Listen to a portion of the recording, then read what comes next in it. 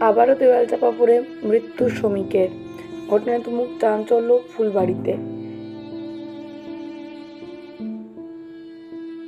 আবারও দেওয়াল চাপা পড়ে শ্রমিকের মৃত্যু। ঘটনায় তুমুল চাঞ্চল্য ফুলবাড়িতে। জানা গিয়েছে, ফুলবাড়ির জিয়াগঞ্জ এলাকায় একটি পুরনো বিল্ডিংয়ে কাজ করতে গিয়েছিল বেশ কয়েকজন শ্রমিক।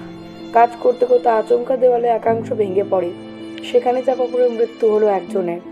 ঘটনার কেন্দ্র করে ব্যাপক চাঞ্চল্য ছড়ায় এলাকায়। জানা গিয়েছে, মৃত শ্রমিকের নাম জয়ন্ত রায়।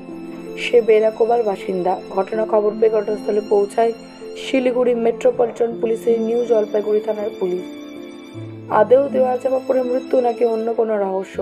সম্পূর্ণ ঘটনার তদন্ত শুরু করেছে নিউ জলপাইগুড়ি থানার police. Bureau report, Samajit Rishi. আমি দেখছি, আমি তো সামনে বসেছিলাম বসার সাথে সাথে একটা আওয়াজ পাইলাম।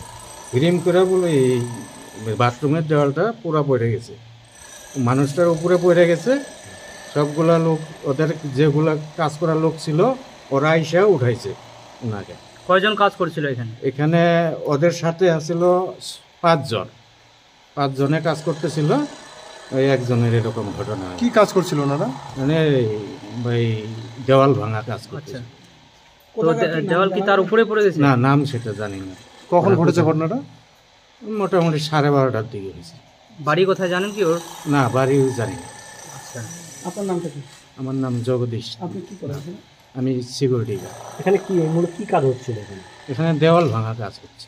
এই বিল্ডিংটা কিসের? বিল্ডিংটা বানাচ্ছিল স্কুলের জন্য। এখন স্কুলের কাজে হয় নাই। কাজটা চেঞ্জ করার জন্য এইগুলা ভাঙা ভাঙি হচ্ছে। পুরো বিল্ডিংটা ভাঙা দেওয়া হ্যাঁ পুরো বিল্ডিংটাই ভাঙা। থেকে কাজ চলছিল এখানে? এখানে হইল তো মনে হয় বিশ দিন মান হইল। যে আহ, চাপা পড়েছে তার বয়স কীরকম হবে? পঁয়ষট্টি মান হবে। পরিচয় জানা জানি না? হ্যাঁ পরিচয় জানি না। তাদের বললেন? জগদীশ নাথ।